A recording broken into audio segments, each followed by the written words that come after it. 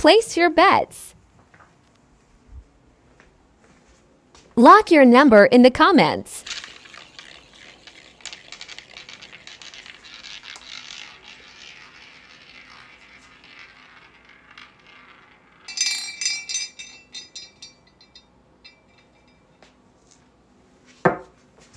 Damn.